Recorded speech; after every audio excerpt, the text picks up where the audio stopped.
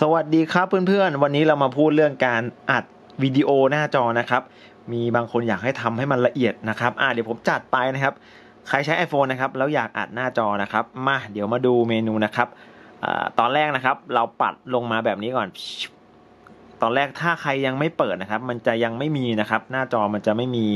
อัดวิดีโอนะครับ เพื่อนๆต้องไปเปิดก่อนนะครับ เปิดยังไงครับ เราต้องไปที่การตั้งค่านะครับของ iPhone นะครับ หาการตั้งค่านะครับ นี่ครับการตั้งค่ากดเข้าไปเลยครับตัวนี้ปุ๊บทีนี้ครับเลื่อนลงมาครับเลื่อนลงมา มันจะอยู่ในคำว่านี่ครับ ศูนย์ควบคุมนะครับเพื่อนๆศูนย์ควบคุมนะครับ กดเข้าไปครับ ศูนย์ควบคุมนะครับ ทีนี้อ่ามันจะอยู่ตรงนี้ครับด้านล่างครับ แต่ว่าไอ้แดงๆเนี่ยด้านบนตรงนี้ก็คืออันที่เราเปิดไปแล้วนะครับ อันที่เราเซตเป็นคีย์ลัดไว้นะครับ อ่ามันก็จะมีประมาณนี้ครับ แต่ว่าถ้ายังไม่ได้เปิดครับ มันจะอยู่ตรงนี้ครับ การบันทึกหน้าจอเห็นไหมครับ ตรงนี้ครับ การบันทึกหน้าจอนะเอาผมชี้นะ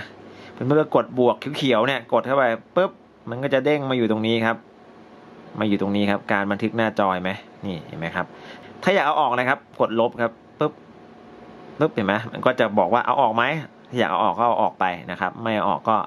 เก็บไว้นะครับอะทีนี้เดี๋ยวไปลองอัดนะครับ วิธีอัดนะครับ ปัดลงมาปุ๊บมันก็จะมีคีย์ลัดขึ้นมาแล้วเห็นไหมครับ ตรงนี้ครับเป็นตัวอัดวิดีโอนะครับเพื่อนๆก็กดค้างก่อนหนึ่งทีครับ แต่ว่าต้องเปิดไมค์นะครับ ใครอยากอัดเสียงอัดเสียงเราเนี่ยเข้าไปในคลิปอะ เราต้องกดเปิดไมค์นะครับ ให้มันเป็นสีแดงนะครับ บอกไว้ก่อนนะครับ ถ้าไม่ไม่เปิดตรงนี้นะครับ มันก็จะอัดสมมุติเราเปิดเพลงใน YouTube เนี่ยมันก็ได้ยินเสียงเพลงครับ พูดให้ตายเสียงเราก็ไม่เข้านะครับ แต่เราเปิด ไมโครโฟนเราก็เปิด YouTube แล้วก็อัดเสียงมันก็จะเข้านะครับอะประมาณนี้ครับ แต่ว่าบางแอปมันก็ไม่ไม่ไม่ซับพอร์ตนะครับ เหมือนอัดวิดีโอผ่านอัดวิดีโอบางบางแอปมันก็ไม่ได้นะครับอะประมาณนี้ครับ ฝากติดตามด้วยนะครับ โอเค ไปแล้วสวัสดีจ้า